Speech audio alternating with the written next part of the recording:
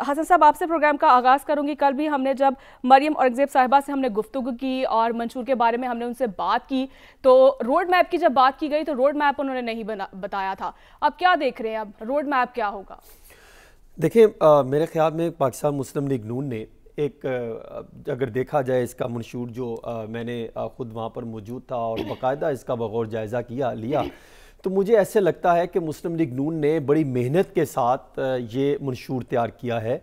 जिसमें हर पहलू को उन्होंने टच किया, हर सेक्टर को टच किया, लेकिन इससे, इसमें कुछ चीज़ें नहीं हैं जिसमें एस आई एफ़ सी का बताया जा रहा था वो इसमें पूरे मंशूर में कहीं पर हमने नहीं देखा कि उनके मामला को इस प्रोजेक्ट में शामिल किया जाए शायद वो ये समझते हैं कि वो तेरह माह की या सोलह माह की परफॉर्मेंस को अपने साथ नहीं अटैच करना हम्म। चाहते चाहे वो पॉजिटिव थी या नेगेटिव थी वो सिर्फ़ एक ही चीज़ को लेते हैं कि हमने आईएमएफ के हम्म। मामला को बेहतर बनाया और दूसरा अगर देखा जाए तो इसमें कहीं पर ऐसे हमें नहीं देखने को मिला कि रोड मैप किसी चीज़ का मिला हो अपने महँगाई कम करनी है बेरोज़गारी कम करनी है हम्म। गुर्बत का खात्मा करना है आपने मेगा प्रोजेक्ट्स को लॉन्च करना है दानिश स्कूल को पूरे पाकिस्तान में उसका जाल बिछाना है हम्म। उसका रोड मैप भी होता है वो शायद हमें कहीं नहीं मिला मुझे ऐसे लगता है कि शायद जो वसाइल कहाँ से आने हैं हम्म। इस पर अगर सवाल जवाब होते तो शायद वो उसके जवाब सामने आ सकते हैं लेकिन आ, अगर इसके मैं आपको चंद एक बड़े नकात रखूँ और ये। रखना बहुत ज़रूरी है ताकि हम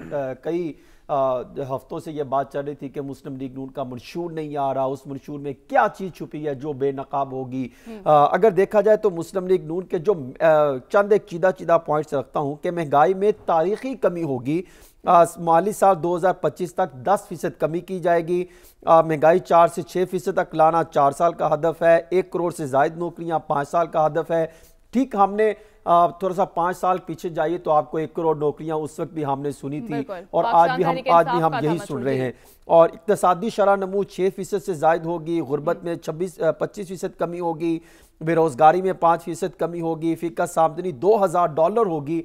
आ, मुझे याद पड़ रहा है कि शायद अट्ठारह सौ के करीब तक तो शायद हम्म। तरीके इंसाफ की हुकूमत 2022 में यहाँ तक पहुँची हुई थी हम्म। इसी तरह माली खसारा तीन शारिया पाँच फ़ीसद या इससे कम चार साल का हदफ है हम्म। करंट अकाउंट अकाउंट खसारा जो है वो जीडीपी का एक शारिया पाँच फ़ीसद और फिर उन्होंने लिखा है कि सालाना बरामदात साठ अरब डॉलर होगी ये पाँच साल का हदफ रखा गया है फिर उन्होंने कहा है कि तनख्वाहें जो है वो महँगाई के हिसाब से बढ़ेंगी इसमें फिर अदालती मामला पर अगर मैं आपको चाँद एक पॉइंट रखूँ जिसमें वो कहते हैं कि जबता फौजदारी अठारह सौ अठानवे और उन्नीस सौ छह में तरामीम की जाएँगी। और फिर वो कहते हैं अदालती तकर्रियाँ मेरिट और शमूलियत को यकीनी बनाया जाएगा। हम्म। और नैब का खात्मे के बात की गई है और फिर अदलिया में डिजिटल निज़ाम लाने की बात की गई है। और फिर ये कहा गया कि आर्टिकल बासठ और तिरसठ को अपनी असल हालत में बहाल किया जाएगा। पार्लियामान की जो है वो बालादस्ती की बात की है की गई है जिसकी ये पहले भी नवाज़ शरीफ साहब बात करते थे। और बिजली के बिलों में 20 से 30 फ़ीसद कमी बिजली की पैदावार में पंद्रह हज़ार मेगावाट का इजाफा। तो मुल्क भर में शमसी तोानाई से दस हज़ार मेगावाट बिजली की पैदावार। और इसी तरह जो मैंने इसमें एक चीज़ जो अहम देखी है वो बड़ी इंपॉर्टेंट है कि मुकामी हुकूमतों के हवाले से। कि मज़बूत माली और इंतज़ामी इख्तियार और हकीकी मानों में अगर ये प्रोजेक्ट शुरू से इसका आगाज़ कर दिया जाए यानी निचली सतह तक जो है जिसकी मैं हमेशा ये बात करता हूँ कि इख्तियार की निचली सतह पर तकसीम अगर इसका आगाज़ कर दिया जाए जो ये मंशूर में ये बात कर रहे हैं तो आ, फिर तो आ, मसाइल जो है खुद ब खुद किसी हद तक जो है वो ख़त्म होने लग जाएँगे हम्म। हल होने लग जाएँगे फिर ये बात करते हैं कि मुकामी हुकूमतों को बलदियाती हुकूमतों के हवाले किया जाएगा हम्म। और खसूसी लोकल गवर्नमेंट सर्विस कैडर की बात की गई है और फिर पहली दफ़ा जो है वो ख़ानदानी बहबूद की बात की गई है कि पैदाइश में वक्फे के बारे में आगाही ये पहले भी होती थी मुख्तलि प्रोजेक्ट हम्म। लाए जाते थे लेकिन अब उन्होंने बाकायदा इसमें शामिल किया गया है अच्छा। इसी तरह उन्होंने फिर दीगर प्रोजेक्ट्स की बात की गई है देखिए मंशूर तो देखने को मुझे ऐसा लगता है कि शायद आप किसी ऐसे तरक्की याफ्ता मुल्क में बैठे हैं हम्म। और वहाँ पे आप देख रहे हैं कि पाकिस्तान में अरबों डॉलर की भरमार है हमने किसी के कर्जे नहीं देने हम्म। वसाइल की हमें कमी नहीं है हालात हमारे बेहतरीन और खूबसूरत सिस्टम चल रहा है और सिस्टम सिस्टम ये है कि हमने एक प्रोजेक्ट लॉन्च करना है और उसकी हमने मुकम्मल तैयारी कर ली है और जैसे हम इकतदार में आएँगे हालात बेहतर हो जाएँगे और हम्म। ये मशहूर से तो बहुत अच्छा सिस्टम जो है वो ख्याल आता है लेकिन मुझे लगता है कि ख्वाहिशात से अगर हम बाहर निकले और ख्वाब दिखाने से हम बाहर निकले और अमली तौर पर जाए तो मैं आपको एक छोटी सी मिसाल देता हूँ आप समझ जाइए कि आप समझिए कि आज एक ऐलान हुआ या किसी आ, मैं ऐलान कर देता हूँ कि मैंने आ, 110 मंजिला जो है वो एक प्लाजा तैयार करना है।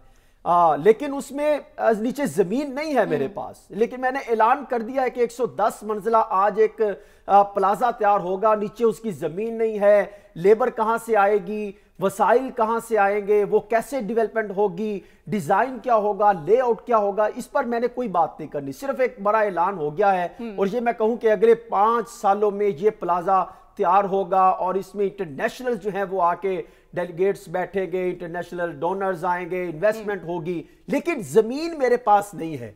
तो ये जेर में रखिए मुझे लगता है कि ऐसा खाका जो है वो सियासी जमातें बनाती हैं। और अगर फिर मैं आगे जाऊँ कि अगर मैं आपको बताऊँ कि इसमें कुछ अहम चीज़ें मुझे लगता है कि जो कंपनीज़ की अक्सर बात करते थे कि अगर आप माजी में चले जाएँ तो कंपनीज़ को बहुत ज़्यादा फोकस किया जाता था उस पर भी सवाल भी उठते हैं अथॉरिटीज़ पर भी सवाल उठते हैं। तो इसमें जो शायद जो मेरे पास जो पूरी आ, इनके मशहूर है इसमें अगर देखा जाए तो अथॉरिटीज़ और कंपनीज़ को बहुत ज़्यादा फोकस किया गया है। फिर जो बात करते हैं कि जो एक अक्सर होता है नेचर रेट ऑफ़ एम्प्लॉयमेंट की अगर हम बात करें हाँ तो वो कहते हैं कि रेट ऑफ़ एम्प्लॉयमेंट अगर आप वो कहते हैं पाँच से छह परसेंट पर आ जाएगी। यानी वो एक इकोनॉमी में टर्म हम्म। इस्तेमाल होती है फुल जो है वो फुल एम्प्लॉयमेंट की। यानी अगर किसी भी कंट्री में फोर टू फाइव परसेंट के करीब या सिक्स हम्म। परसेंट के करीब हो अनएम्प्लॉयमेंट तो आप उसके फुल एम्प्लॉयमेंट में कवर करते हैं। तो यू अगर कहा जाए क्योंकि कुछ लोग हैं जो काम करना नहीं हम्म। चाहते या कुछ इस एज ब्रैकेट में होते हैं तो लाइक अगर हम अगर वो इस पोजीशन पर ले आएँगे जो ये दावा कर रहे हैं इस मशहूर में तो फिर आप ये कह सकते हैं कि हालात तो यकसर तब्दील हो जाएँगे। और फिर दूसरा मुल्क की मसाइल का हार और जो पुरकुशिश दावे किए गए हैं आपने साथ ये भी जेर में रखना है कि आईएमएफ की कुछ शराइ है जिसको हाँ, आप नजरअंदाज नहीं कर सकते। इस पर भी बात करेंगे।